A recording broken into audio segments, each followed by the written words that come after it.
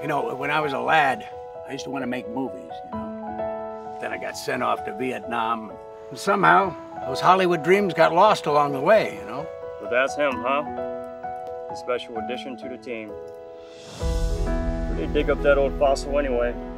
Are you guys talking about Arthur? He's so cute. He reminds me of my grandpa. Is De Niro in this? Uh, no. And what sort of picture is it then? It's a horror movie. Oh, like Hitchcock, huh? Uh, I'm Arthur, the new PA. That's a production assistant. Uh, I don't think I've seen many PAs of your, um... Well, I, I'm... It's okay, you can say it. Uh, I'm no spring chicken, I know that. What's your name, uh, young man? I'm Harrison. So, uh, what do you do around here, Harrison? I'm the director. A basic soldier wouldn't address the general, right? So a PA should not talk to the director. Because, you know, this isn't Friday Night Bingo. It's a major production. Yes, ma'am.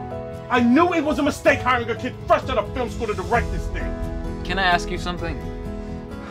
How do you get people to to see past your um or your age? Well, age might be a number, son, but it doesn't determine your value.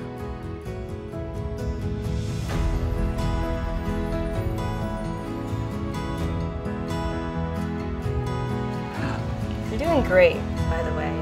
I don't know if anyone told you that. Thank you, Marianne.